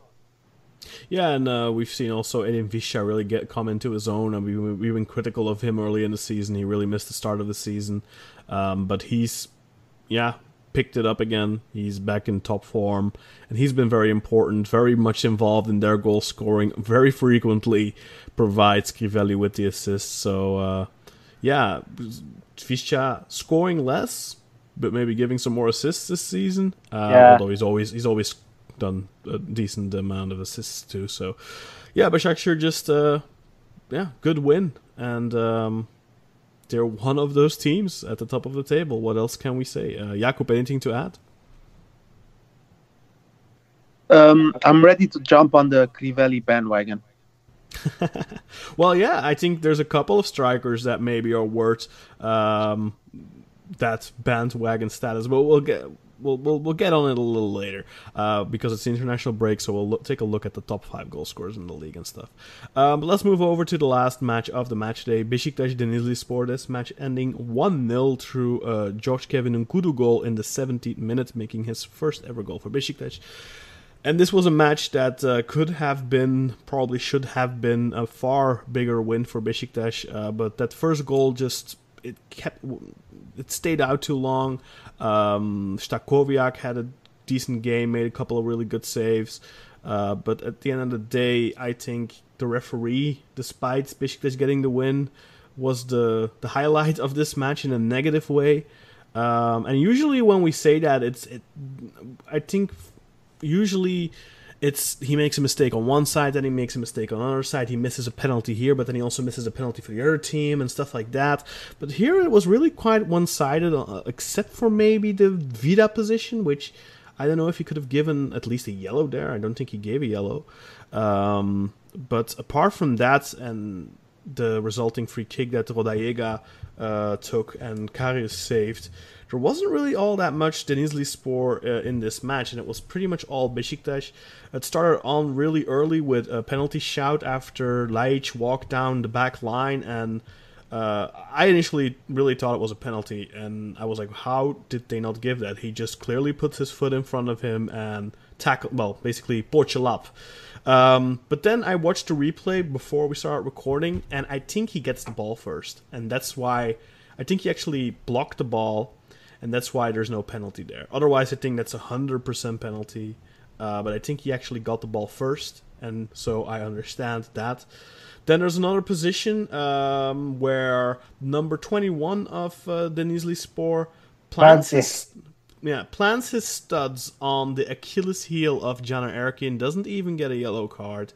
Um, is livid, of course, understandably so. He had a career threatening Achilles injury like a little bit over a year ago. That's a serious thing if you've gone through that as a player in, you know, yeah. his early 30s.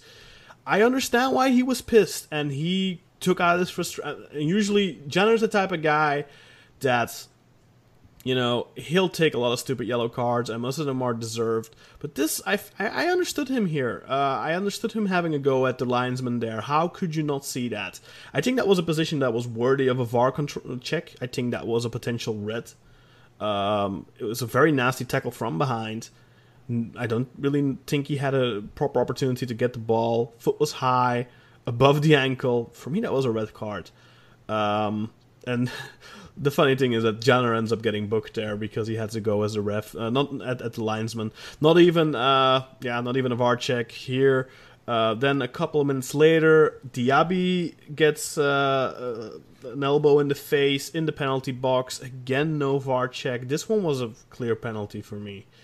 Um, the defender has no eye for the ball, just plants his arm in the face of Diaby, preventing him from getting to the ball even though I think if he doesn't do that, Diaby gets on the ball. So for me, that's a penalty. Uh, what else is there? Then in in the second half, there's another penalty position again on Diaby. Um, and at the time, I was like, eh, I don't think that's a penalty. And then I watched it again, uh, before we start recording. And honestly, I think it was a penalty again, uh, and again did not go to VAR. And then, of course, there is the tackle of uh, Isaac, Saki. Isaac Saki on uh, Diaby as Gosh. well.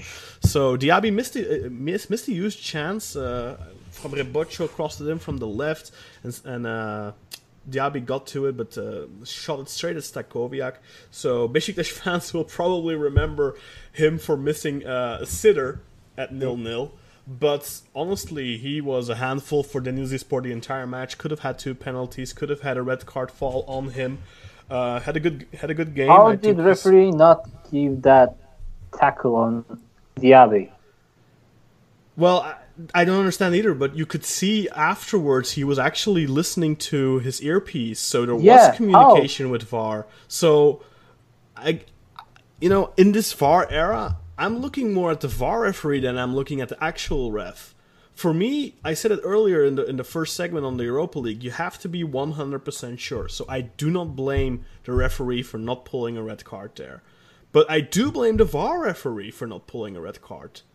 For not telling the ref, come take a look, you have to see That this is- again. But in the first side, it is a direct red card. Like he's coming with both feet and just tackling on the standing foot of the Diaby Mhm. there, and just Yeah. I don't know. Yeah, I, I think this was a match with uh, let's see, uh, four really big decisions. I think I don't know what you guys thought of the penalty positions. Let's first the, the Ljajić one. Uh, gonna go to both of you. Yakup, was that a penalty or not? And if yes, why? If no, why? Um, I honestly don't know. Um, how about you go to Umut and I'll just rewatch it just to be sure. sure, go ahead. Uh, Umut, what did you think of the first one, the one on Ljajić? Was that a penalty or not? Well, initially I thought that it was not a penalty. Like just Ljajić dropped himself on the ground. so you're the opposite of me. yeah, yeah, but just looking in the different angle, uh, the guy just uh, hit the like because there's two guys defending Ljajic there, and one of them got the ball and other got Ljajic. So I don't know what the decision will be there. Like this is two way complicated. Yeah, yeah. Well, uh, like I said before, initially I thought that the the guy from behind who puts his foot in front of Ljajic's left uh, right foot, I thought he didn't get the ball, but I think in the replay I saw that he initially hits the ball with his heel and then trips Ljajic. But for me, then I understand why the ref didn't give a penalty. Yeah, why number VAR didn't two, intervene. number two, Thiago Lopez got the ball, but number eight, who is uh, I don't know his name, Mohamed. Yeah, but what, yeah, but but that guy is standing. Where can he? He can't disappear in thin air. So I don't. That's that's okay. That's not a penalty for me. yeah, yeah. Th- th- for way me, the too question- complicated to answer. Yeah.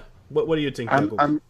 I'm, watching it in slow motion right now, and um, he doesn't get the ball, uh, the number eight, Oh, okay. Then it's But a he- penalty. but he also doesn't get Light. It, it looks like? Light gets pulled down or something a little bit, or his balance is uh, disrupted, and um, yeah, you can see him just. It, it looks like he, he he drops because he knows there would there, Yeah, there yeah. might be contact. he has nowhere to go. Yeah, so. Um, so understandable. yeah, this is a little bit a little, little bit difficult. So uh, it, I think that both decisions decisions will be okay. If you gave a penalty for Mhm. this, I don't think people would complain. And if you don't give a penalty, ah, except except Besiktas uh, fans, then um, it, it shouldn't be that big of a complaint. Uh, complaint, you know. Okay, let's move over to the second one then, the Diaby position. Um, the one in the first half where he gets an arm in the face. Uh, Umut, gonna ask you first. What did you think? Was it a penalty or not? Well, I think he just dropped really easily, uh, like running there, and just because of the size difference that he had, uh, he just wanted to use it for his side. Like, I don't know. Uh, Yeah, I understand what you mean. He wants to influence the referee yeah, I, because it's a I big think the guy. defender a there is guy. Mustafa Yumlu, is a big guy, and Mm-hmm. Diaby is a like a midget there uh, Mm-hmm. before him. So I think he went a little easy on the floor.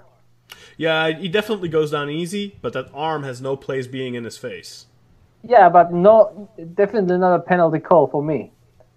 Okay, Jakub, what did you think? Um, it, it does look like a penalty. Um, as a, as a guy that was forced to watch Mustafa Yumlu play, I know that he isn't the best defender. um, and you can you can just clearly see that he's he has his arm across Yes, across his face, you know, and like almost his elbow hits his face. Um, Yeah, I do agree a little bit with Umut that he does go down a, like like really Yeah. deeply. But um, we also talked about how if you don't go down, the, the, the refs just don't care about it. Hmm. So in my opinion, I think that this should have been a penalty. Yeah, I, I agree with both of you. I think I agree with Umut. I can I can definitely see where uh, you would say that that he uh, goes down easy, but I think if he doesn't put his arm up there, that that that Diaby just gets past him and gets the ball. So for me, it's a penalty.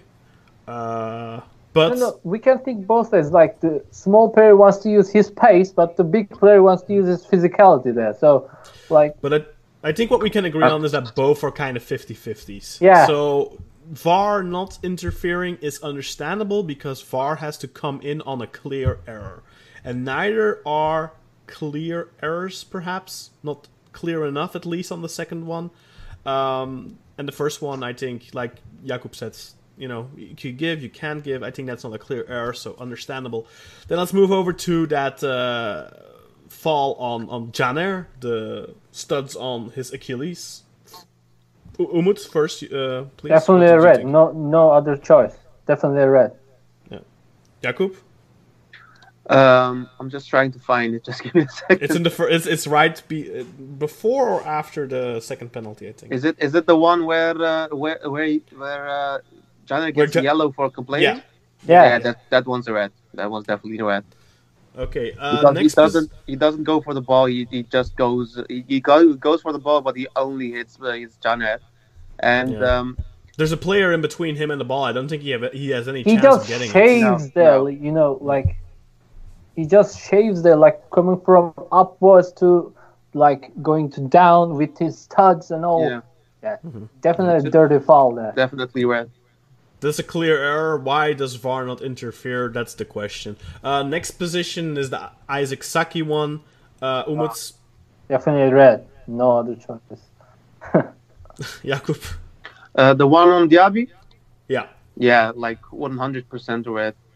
Yeah, it, it It- should it- have been given at the first sight. Like, mm, d- definitely, the ref shouldn't have been waiting for the VAR review. I mean, it could have it could have been much worse for Diaby. You know, the, the Yeah. when he And hits it, looking there, looking there, where he's in the just Yeah, his leg kind of gets line, stuck. He could have been Yeah. out out for the season. looking where referee is standing for the position, he could see the position really well. Like he's just Hmm. 20, 15 minutes, uh, meters away, uh, kind of thing. He he did see it, and I don't know why he he didn't give a red. I think referees are with VAR. I think referees are far more inclined not to pull red too early because they think, oh well, look, if it's if it's a red, then VAR will tell me.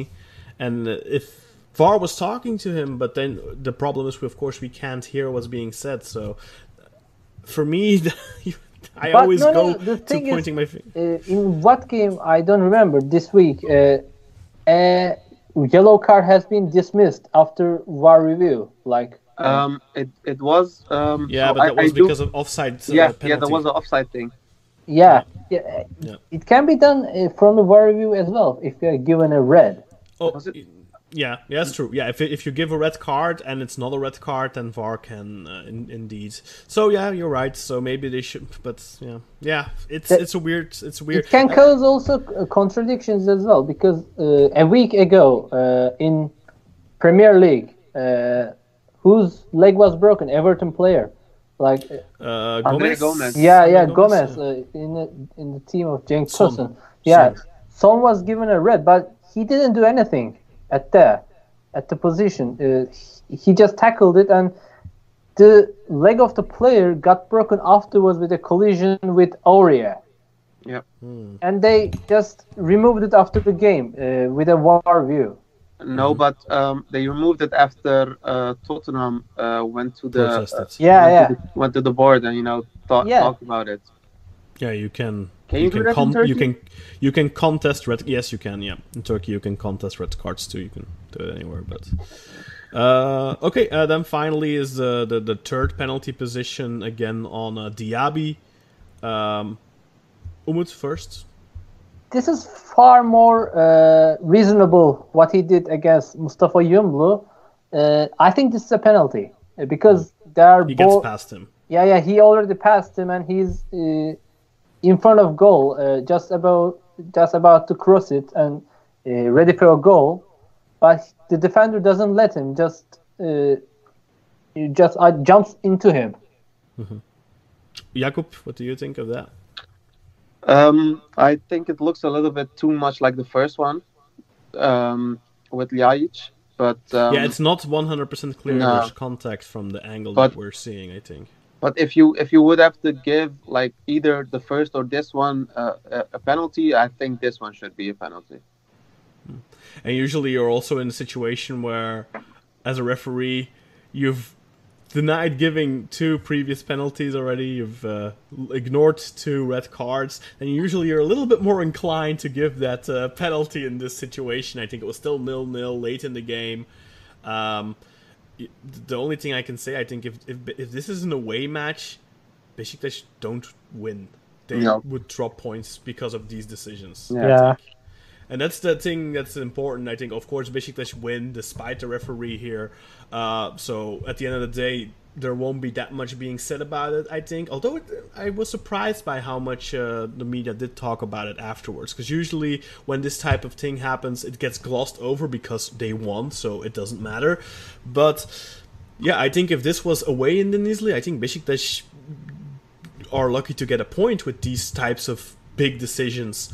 Um, but like we said, 50 50 penalties. The third one as well, maybe, but those red cards are undeniable. So, big decisions again. VAR, uh, no man of the law here, but I think Burak would probably agree with you guys. Uh, so, let's let's call it there. Uh, Besiktas get the three points, and that means that the standings look as follows. We have Sivasspor at the top with 21 points, Fenerbahce in second position with 20 points. Then we have multiple teams on 19 points, to be exact, Trabzonspor, Alanyaspor, Başakşehir, and Galatasaray. So third until sixth all have 19 points. Then in seventh position we have Malatyaspor with 18 points and Besiktas in eighth position also with 18 points. Then we have a three point drop off to ninth position where Gaziantep Football Club are.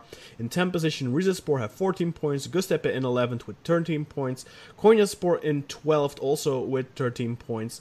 Um, Kasımpaşa in 13th with 12, Denizlispor in 14th with 11 points, Antalyaspor also have 11 points in 15th position, and then we have the first team in the relegation zone, Gençlerbirliği have 10 points, while Ankaragücü in 17th position have 9, and rock bottom are Kayserispor with 7 points. The top scorer in the Turkish Super League is still Papis Cisse with 9 goals, but Adis Jahović also has 9 goals to his name, but 3 of his came from the penalty spot. Cisse has no penalties. Enzo Crivelli is in third position with 7 goals, same amount as Vedat Muriqi, but he has 2 penalties, both came into in this match day. And then in fifth position, we have Alexander Sørloth with six goals, one of which came from the penalty spot. Um, I think that's pretty much it for Super League. Let's quickly talk about the international break coming up because Turkey are just one point removed basically from the European Championship in 2020. Um, let's quickly look at the call ups for the national team. So, Mert Günok from Başakşehir, Altay Bayındır from Fenerbahce, Sinan Bolat from Antwerp, and Uğurcan from uh, Trabzonspor, of course. Then in defense we have Zeki Çelik from Lille, Nazım Sangaré from Antalyaspor, Çağlar Soyuncu from Leicester City, Kaan Ayhan from Düsseldorf, Merih Demiral from Juventus, Ozan Kabak from Schalke 04, Mert Çetin from AS Roma, Umut Merash from Le Havre, and Hassan Ali from Fenerbahce. In midfield we have Cengiz Ünder from AS Roma, Denis Turic from Fenerbahce, Efecan Karacan from Alanyaspor. Alanyaspor, yeah. Emre uh, Belozolo from Fenerbahce, Irfan Can KVC, and Mahmut Tigdemir from Başakşehir, Okay, Yokush, okay Yokuşlu from Celta de Vigo, Ozan Tufan from Fenerbahce, Yusuf Yazıcı from Lille, Emre Kılınç from Sivasspor, Hakan Çalhanoğlu from AS Roma, and finally Ömer. Bayram. yeah, and finally Ömer Bayram from Galatasaray, the only Galatasaray player in the squad. Yeah. and then in attack we have Burak Yilmaz from Beşiktaş, Cenk Tosun from Everton, and Enes Unal from Is he still playing for Valladolid or is he back at Villarreal actually? It should be Valladolid. Valladolid, I think. Yeah, yeah, Valladolid. Okay. Uh, so yeah, on Thursday, Turkey will face Iceland in the all-deciding match for Turkey. If Turkey gets at least a point, they are certain of qualification for the European Championship. But of course, if Turkey gets a win and gets a win on Sunday against Andorra, they won't just qualify for the Euros. They will do so as the winners of the group, thanks to their head-to-head uh, with France. So yeah, big match on Thursday, one of the biggest in recent history for the Turkish national team, and it is of course against our arch rivals of the recent years, Iceland. Um, yeah, big game, guys. What do you expect of this, Jakub? Let's start with you. Um, I, I'm I'm happy that uh, the, the the injured players are finally back. I'm, I'm I hope that Cengiz is going to play. I really missed him. Mhm. Um, I don't know. We're playing at home. Where where do we exactly play? Nope. clue. No, I think Eskişehir, right? uh, no. we- Sure. You know, we, we just sure. need we just need those uh, those those dumbass fans that just don't know anything except scream all game. You know, to, to put a lot of pre- pressure on the team. It says in Istanbul, maybe in TT Arena. Well, mm, Mm, let's see, let's see, let's see. It might be Vodafone actually. Turkey. Um, uh, Turkey, yeah. or Kadıköy, maybe. Um, Or maybe, game- maybe Olympiad. No, No, no, no. no, no, no, no. No, it's I not. don't want to Turkey imagine. Telecom Arena. Yeah, So um, it, it- the, I, I just ex- um, expect a Yeah. full stadium, and um, you know the team is doing well. Uh, the individual players have all all been pretty good at the moment. You know, And we don't have the polarizing Fenerbahce Galatasaray players that the Galatasaray fans or the Fenerbahce fans or the Besiktas fans will turn against, like we had a couple of years ago with Volkan and Co. So, Yeah. uh, yeah. you know the, the, the biggest team. the biggest asshole at the moment is Emre Belözoğlu, but even he is a little bit he, he, he seems to be a little bit sym- sympathetic at the moment. How how awful it, uh, it it is to say that. Um, you know, I'm really proud of the team. The only thing that I can complain about is that the game is at you know uh, at, at six o'clock for me, and you know games like this should be a little, a little bit later. But Sure. um, But in Turkey, that's already uh, Yeah, seven, right? yeah, No, I know, I know. That, eight, that's, eight. that's just a personal gripe of me. But otherwise, it's, uh, the, the team looks really, really nice. Uh, the Aday Kadrosu, uh, the uh, the preliminary squad looks really nice. The only place where, in my opinion, we're a little bit short is in the attacking positions. Yeah. Um, Cenk, Cenk did start last weekend, but Mm-hmm. um, he hasn't played a lot. Burak, you know, hasn't uh, with his yeah, injuries. it's gonna be another case of Burak playing 180 minutes for Turkey and getting injured, probably. You know, that's the, that's the only thing that I'm uh, that I'm worried about. Um, I hope that uh, the players like uh, like Dervishoglu and Kutucu can you know just um, play for the national team and you know just but has. Halil already uh, picked the national team? I'm sorry. Has Halil uh, Dervishoglu already picked uh, Turkey, or is There he is- still on the fence? Like there is no way that he doesn't pick Turkey, in my opinion. yeah, I mean, he's not probably gonna play. For Yeah. But uh, that's, that's the thing. I mean, I don't really understand. Like, even Enes has been with the team the entire time, and he hasn't played a single minute. I think. Why isn't he playing? You know? Like, Yeah, he's I- playing I've heard minutes. stuff. I heard, I've heard stuff about uh, the, the the like Dervishoglu and Kutucu that they like to keep their options open, which kind of sounds dumb. But I well, for agree. Kutucu, I understand because he's really a big talent. Yeah, he's really big. But um, yeah, I don't. I really don't understand why why Enes doesn't play either. You know, he, he he's more agile than Burak. You know, he can do. He's a little bit more technical than uh, Burak. It's not really difficult to be a little bit more technical than him. When when Burak isn't in form, He's why awful. isn't Enes getting time? You know, Yeah. and that's the thing. So yeah, let's hope for for for a win. I mean, it would be huge if Turkey beat Iceland, of course, and then take that momentum and and then beat Andorra, hopefully. Uh, and win the group, Mm-hmm. but in, maybe in uh, two weeks' time when we uh, when we're recording for the next uh, post Super League ma- uh, podcast, we'll be talking about the nightmare. But uh, Don't let's hope jinx not. it. Let's let's hope not. No, I'm not jinxing it by saying this. Oh, this is anti-jinx. Okay.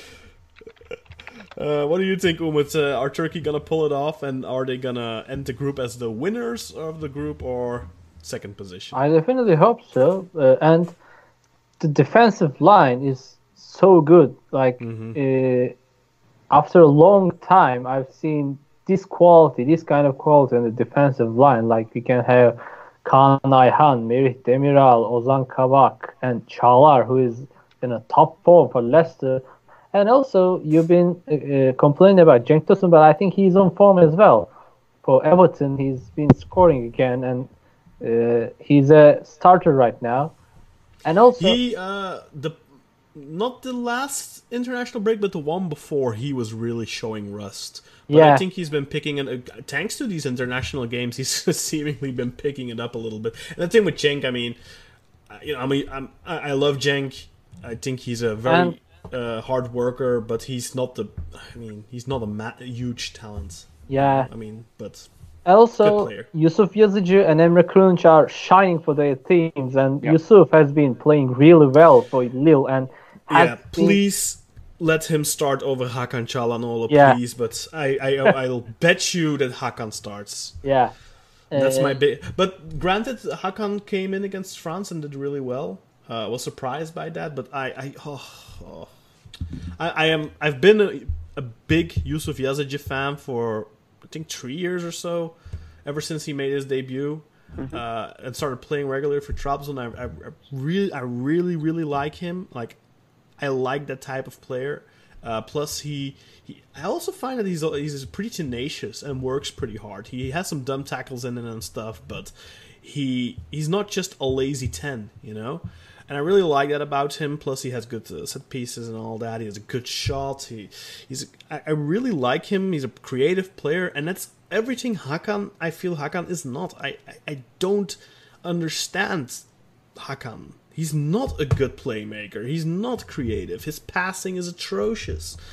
The only thing he's had in the past were really good set pieces. Yeah. But he hasn't scored a free kick since 2017 or something stupid like that. So I, pff, I, I, I just hope. I, I, I don't understand why uh, Şenol insists on Hakan. He's a, he's I a think- Trabzon guy. Yeah, Why I think that's probably why.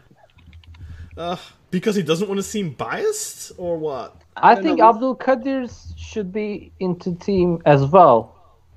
Uh, Which one? Uh, Parmak. Yeah, uh, he's also tenacious and uh, like uh, stamina kind of player. But we, He- we have quite a few players in that position, I think. And uh, who's he going to yeah, but he he also can play as a right back i- in need, like as well as right winger. yeah, but again, we have plenty of I players who can don't think play as I a don't think back. he wants to do that with Abdul Kadir. No, I We have I think Seki the Celik, only- we have Nazım, we have Oh. Ozan Tufan who can play right back. Yeah, I don't but think I we don't, need I him. don't think Nazım could handle this kind of level in football uh, because we haven't know. seen him playing for uh, national team.